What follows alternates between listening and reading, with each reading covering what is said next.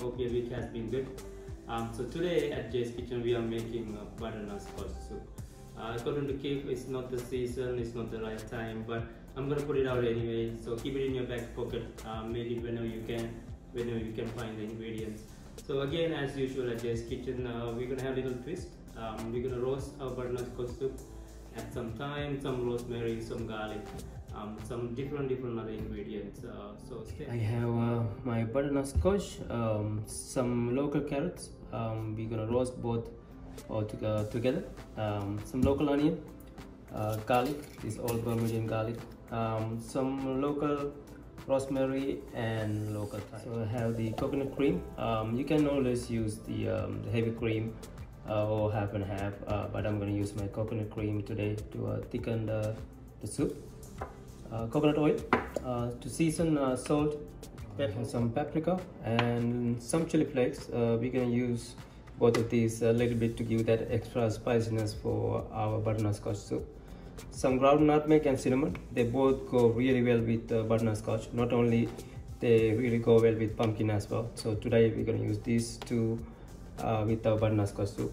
Some maple syrup um, always you can substitute the maple syrup with uh, brown sugar or even some honey but today i'm decided to have some maple syrup to blend that sweetness uh, to the uh, to our soup some vegetable stock um, these are homemade so when you boil vegetables uh, you save that water and that's become your vegetable stock. We're gonna cut our butternut soup. So uh, when you're cutting it, uh, first we cut the uh, cut the top.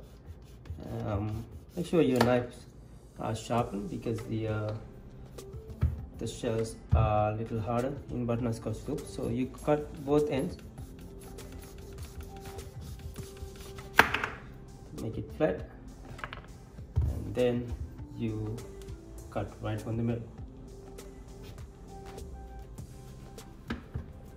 there you go you can scoop up the uh, seeds use a spoon um, this butternut uh, seeds are a really good snack so uh, you can toast it in the oven in another time. And you can make your own trail mix. So you just take it out and put it in the in the water. And uh, then you can separate the seeds uh, from the flesh. Uh, so we have a seed uh, let it let it separate so we can toss it in another time. I'll leave that on the side and uh, now we have our scotch. Um, i'm gonna leave the uh, the outer layer on. If you prefer um, you can take it out but uh, here nothing goes waste. So this is what we're gonna put in the oven. Here we turn on the oven to 400 degrees and we preheat it.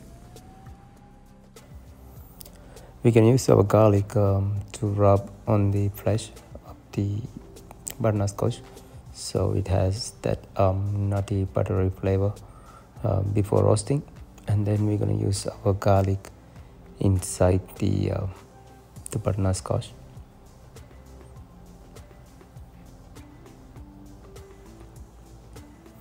and then we gonna season with uh, some salt and pepper.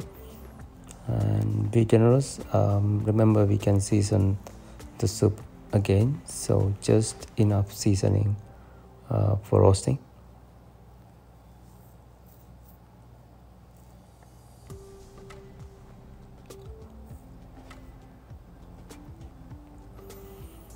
and then we're going to use some herbs uh, which is uh, thyme and rosemary um, just cut into uh, some pieces and we're gonna place that with our garlic um, on the butternut scotch.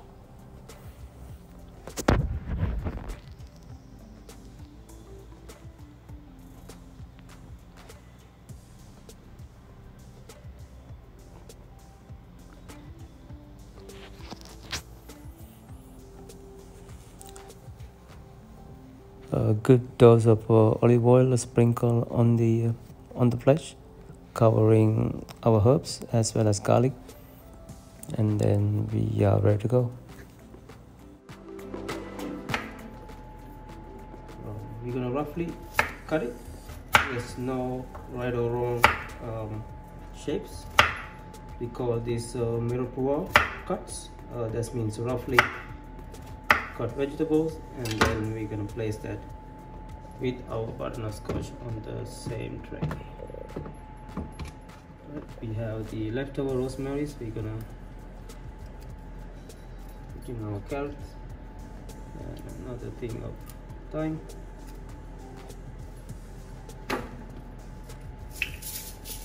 Season with touch of salt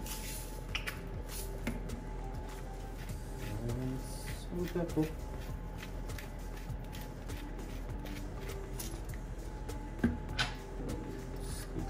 some olive oil.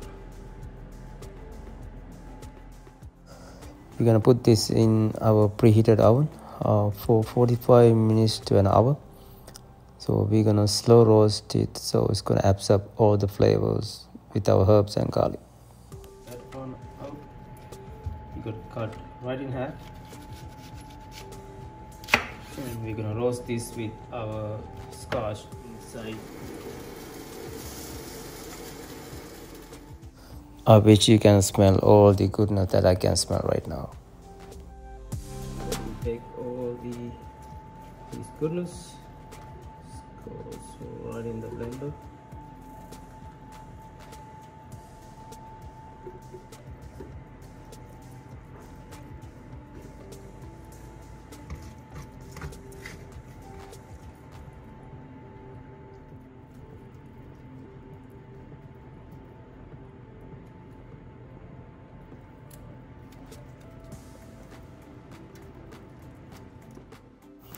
All our roasted carrots and our slow roasted onions goes inside the blender as well with our scotch puree. Uh, remember to take the the top layer of the onion and put the rest in the blender. We have our vegetable stock which is in and add a little bit of maple syrup just to get rid of the sweetness. Again as I said before that uh, feel free to use brown sugar or honey. Um, little bit of cinnamon. Touch nutmeg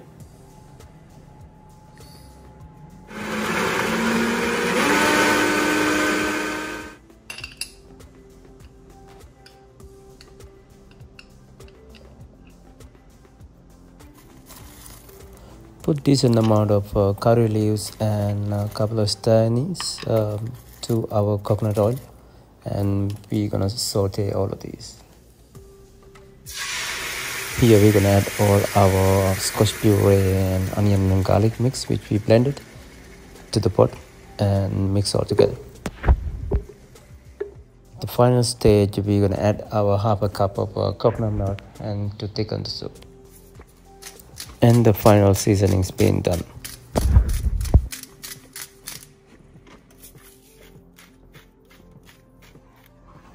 We give it a good stir and bring it down to simmer so we turn down the heat.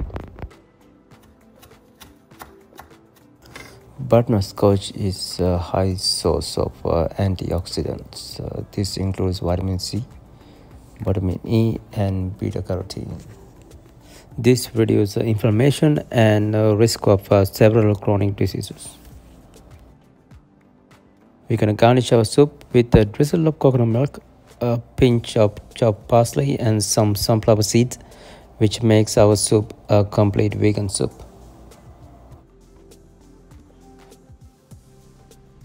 Jay's Kitchen Roasted Butternut Squash Soup done. enjoyed, uh, please subscribe, like, comment and share. I may release a bonus video for this upcoming long weekend, so keep your notifications.